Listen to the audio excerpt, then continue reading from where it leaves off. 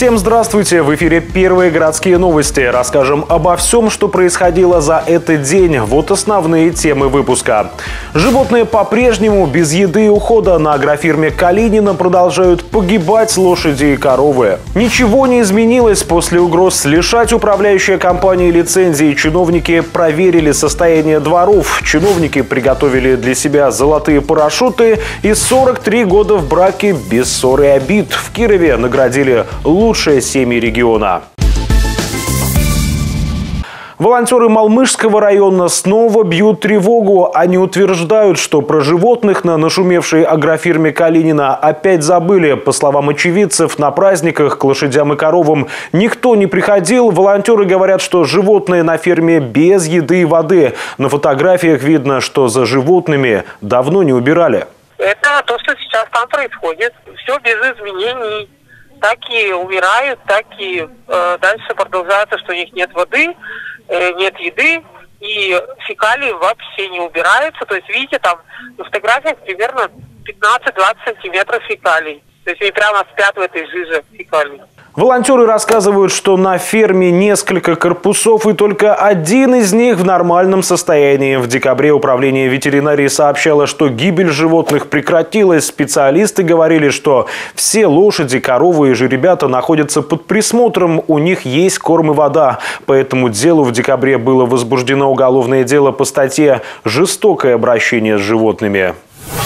Чиновники проверили работу управляющих компаний. Сегодня они посетили несколько дворов, смотрели, как убирают снег и гололед у подъездов и в каком состоянии крыши. Оказалось, что управляющие компании забывают про уборку наледи и сосулек с крыш домов. На Динамовском, на Динамовском проезде нашли и большие ледяные навесы на крыше, и колеи на дороге. Здесь основное нарушение, их несколько, это колейность придомовой территории и налить на кровле данного здания.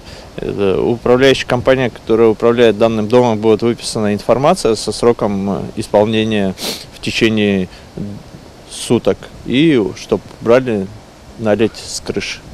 Если не будет убрано по нашему информационному письму, то данная информация будет направлена в жилищную э, инспекцию. И, в принципе, здесь есть угроза жизни. Также мы проинформируем прокуратуру района.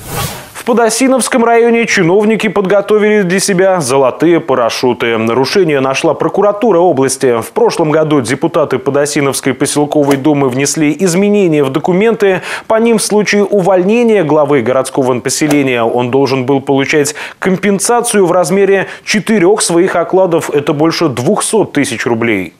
Порядок выплаты так называемого «золотого парашюта» противоречит требованиям бюджетного законодательства – по этой причине прокуратура Кировской области направила в суд административный иск с требованием о признании недействующим изменения в положение. Проверка прокуратуры подоспела вовремя. Через суд документ признали незаконным. Решение еще не вступило в законную силу. Глава поселения продолжает выполнять свои обязанности.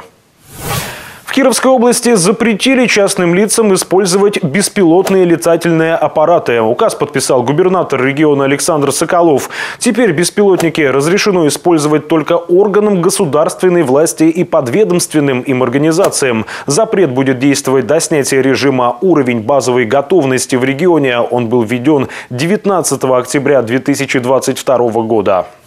Руководитель Киров пассажир автотранса Андрей Логиновский покинул свой пост. С сегодняшнего дня он не отвечает за пассажирские перевозки в городе. Логиновский написал заявление по собственному, но ушел, судя по всему, из-за того, что настоятельно попросили. Министр транспорта области сказал, что для этого было несколько причин. Срыв выхода автобусов в морозы, острый дефицит кадров на предприятии и просьба о компенсации за доставку мобилизованных Вольск. Нового директора КПАТ обещают обещают найти в ближайшее время.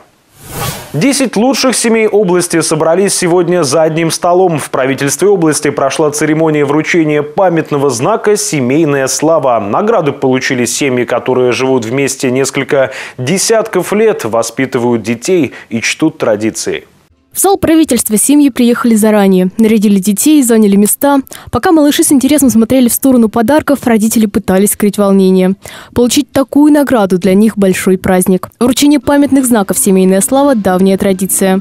В этом году награду получили 10 семей. Каждой присвоена своя номинация. Молодая семья, сельская, многодетная, золотая. Многие пары признаются, что семейная жизнь – большой труд, который требует ежедневной работы. Я считаю, что вообще критерием э, успешности деятельности власти в регионе является народосбережение. Чтобы детей рождалось больше, чтобы они воспринимали ценности старшего поколения, а этого можно учить только в семье, чтобы дети любили свою землю, по возможности оставались здесь и э, служили во славу нашего, нашего региона. И тоже здесь же создавали семьи, рождали детей. Семья Пивоваровых вместе 43 года. Александр Анатольевич – учитель физики и астрономии. Наталья Михайловна – мастер спорта по акробатике. Они вырастили и воспитали трех детей. Сыновья уже взрослые, каждый выбрал свой путь, все живут в разных городах.